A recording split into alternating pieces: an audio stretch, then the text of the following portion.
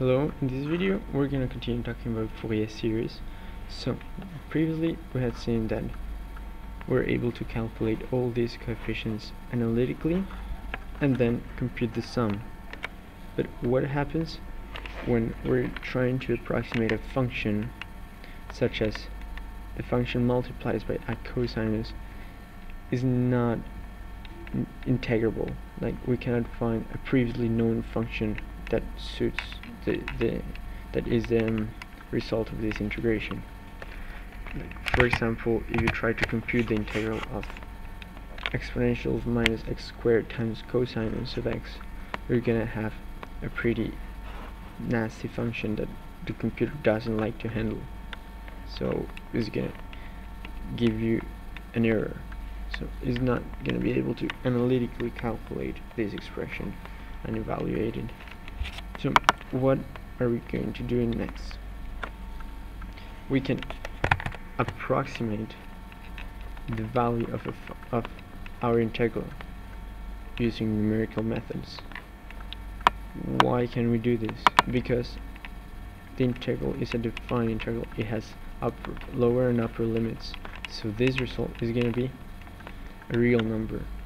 Only if we know which n are we integrating because this function f times cosinus is a function of x and also a function of n because later on we're going to do the sum over from n equals 1 to n equals maximum value. So we need to have a function of one variable to get the numerical value. So what are we're going to do is that we're going to sum the the ends first and then we're going to do n integrations. So we're going to substitute n with 1 we're going to integrate then we're going to substitute n with 2 we're going to integrate and so on until we reach our maximum value.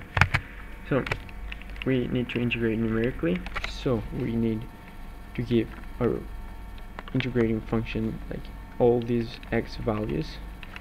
And then all these y values so we can do the approximation with trapezoids. So how can we do this in MATLAB?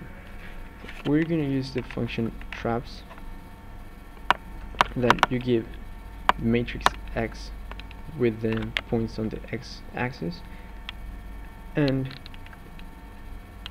a matrix y with the points on the the points that are the result of or the points that mean the function. So is gonna give you back the result of the integration. So let's see what our code code looks like. So the beginning of the code is the same. You get a, a period you get a beginning you get the maximum value and then you get the function.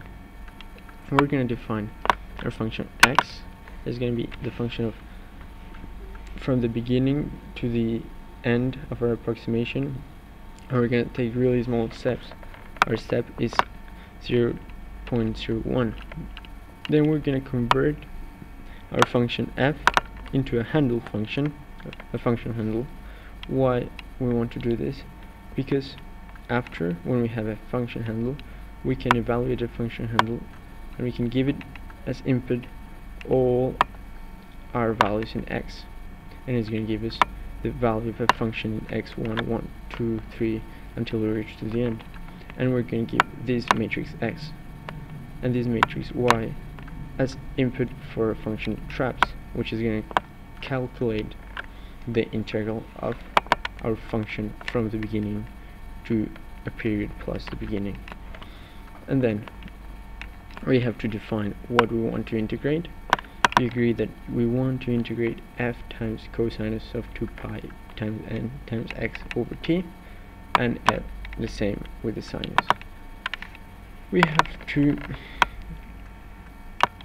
do the uh, to define um, symbolic vector full of cosinus and full of sinus and and we have to pre-allocate memory for an and bn which are going to be our coefficients so what's the difference here? Because here we're gonna we're starting the sum but we haven't integrated.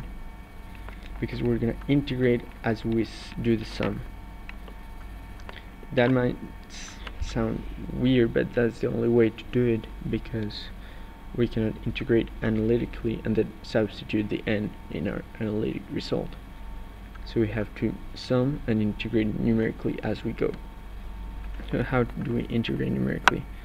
So we're just going to define we're going to convert.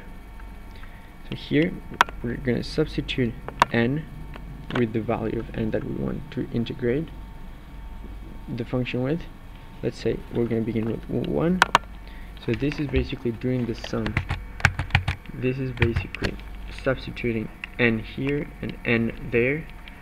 So we're going to have a function of one variable that we're going to call it v int and w, w int and we're going to convert it to function handle. Then that function we're going to do the same thing. We're going to evaluate that function in all our values of x and then we are going to integrate it for sinus and cosine is the same thing and we're going to put it in a vector. This is a vector containing all our coefficients. And we're going to define another vector containing all of our sinus and cosinus so what we're going to have is basically a vector containing this coefficient, a vector containing all these cosinus, a vector containing all these coefficients, and a vector containing all these sinus. And after, we just have to do them.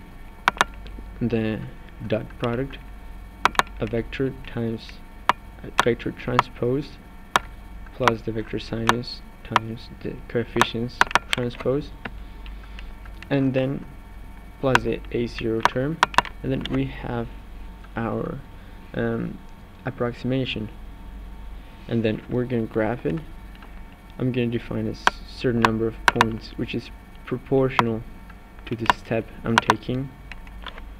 Because if I take a bigger step and I use a lot of points it's not worth it.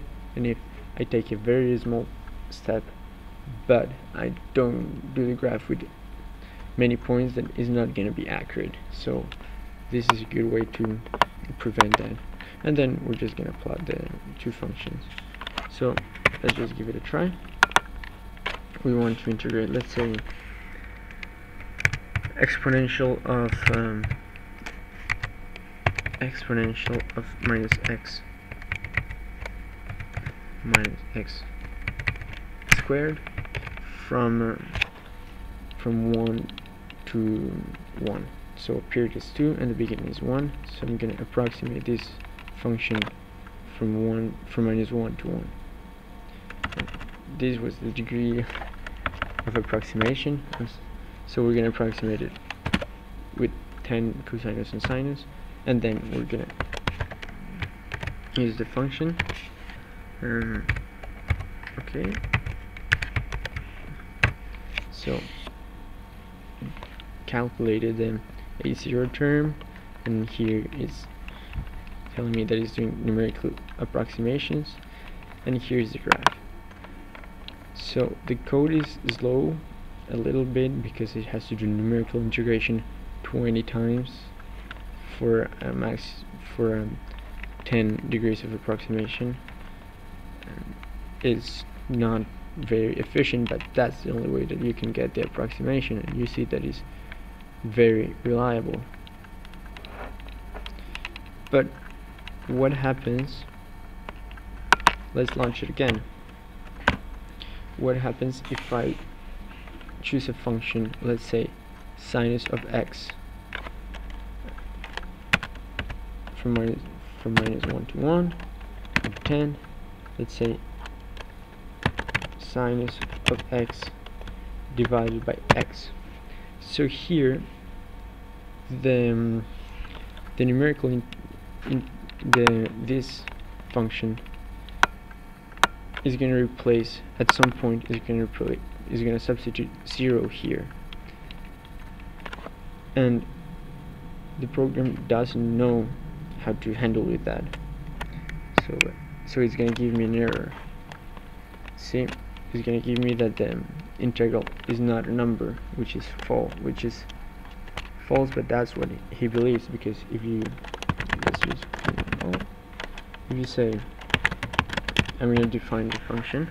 Let's say function is equal to sinus of x that's x. And then I say substitute f in f the value of x by 0 is going to give me oh that's not a number. But if I say limit of f when x goes to 0 is going to give me 1 so how do I handle with that? How do I handle that? Well I the problem is that in the vector y we're gonna have one value or at least one value that is not a number or infinity. So we're gonna have to look if there's one value like that and then we're gonna use the limit to let's see to see if it is fixable with the limit and if it's not fixable with the limit then it means that it's not a continuous function. And if it's not a continuous function our program cannot approximate it. So I wrote a code that is a little long and it's a little hard to explain but I'll put it in the description of the video and it takes care of that problem. Um, I'll put both codes in the description of the video so you can check it out and try to understand how like I use the function find and isnan and is infinity to, to check if the function evaluating that interval had any weird values. So I'll post both of these codes on the description and thank you thank you very much for watching. See you next time